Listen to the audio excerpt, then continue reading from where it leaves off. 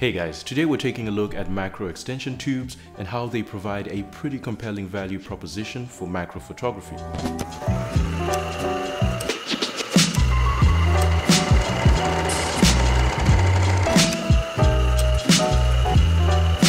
Generally, if you want to do macro photography, you have a couple of options. The most obvious choice, which is also the most common, is to buy a macro lens. However, sometimes macro lenses can be pretty expensive. And the problem is that if you're not a religious macro photographer, then it does become a little unreasonable to purchase a lens that you're only going to use probably once or twice. Now you can also use close-up filters, which are simply just magnifying glasses that you can screw onto the front of your lens to be able to focus closer to your subject. These filters can be a little pricey sometimes depending on what thread size you need for your lens and the overall quality of the product. Another method is a bit of an unorthodox technique that involves using what is called a reverse adapter. Basically what this does is it allows you to mount your camera lens onto your camera body in reverse. And yes, you did hear me correctly with the reverse part. So the entrance of your lens now faces your sensor and the back of the lens faces your subject. This allows you to get a shorter minimum focus distance and ultimately a better macro shot. The image however is a lot darker because the back of your lens is smaller than the front of it. Overall the lens will capture less light resulting in a darker image. Finally the method that I personally believe brings forward a very compelling value proposal is the use of macro extension tubes. Macro extension tubes are kind of like adapters that you attach in between your camera body and lens. They essentially create a measured gap between the two.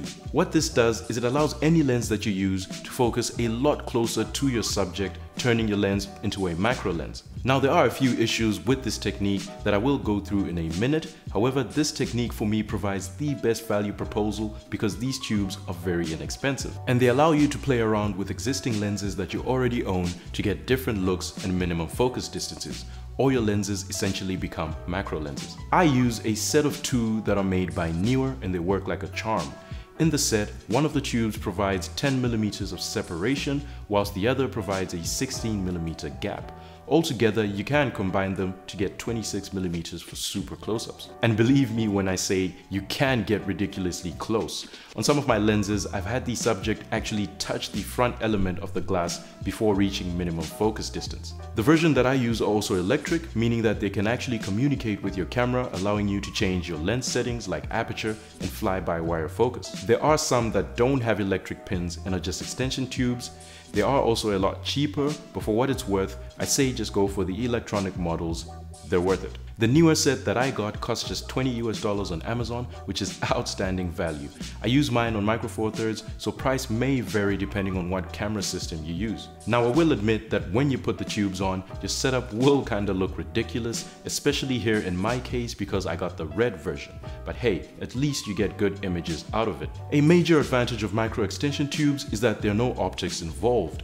If you have a very sharp lens, then you essentially have a very sharp macro lens too with the use of these tubes. Unlike close-up filters which generally tend to negatively impact image quality because you're putting another sheet of glass at the front of your lens that's probably not been made to as high a standard as the lens itself. What this does is it introduces a higher chance of reflections, refraction, and absorption of light entering your lens. With extension tubes, you get none of that image quality is unaffected. Now there are a few drawbacks of using extension tubes besides just the ridiculous appearance. For starters, it is pretty much impossible to focus to infinity when you have an extension tube mounted. The lens simply won't do it. And sometimes the communication between the lens and your camera through the tubes can be a bit glitchy even on the electronic models like what I have here. For example, my camera for some reason always assumes a very narrow depth of field no matter how much I step down the lens. I've had situations when a very small subject didn't look entirely in focus on the live view, but when I take the photo, the subject is in full focus in the resulting image, and sometimes even other parts that I didn't want will be in focus too. The live view on my GX85 simply isn't reliable whenever I'm using these extension tubes unless I'm shooting at the widest aperture. Your mileage may vary for those that use different camera bodies. For what it's worth though, I'm happy that none of these issues actually affect the image quality and I've been able to get some amazing macro shots. For something that costs only $20, this is a definite no-brainer. I'll most likely never purchase a macro lens ever again. Thanks for watching and I hope that this video has been useful to you. Please drop a like or a comment if you enjoyed the video and if you didn't enjoy it, make sure to hit that dislike button twice.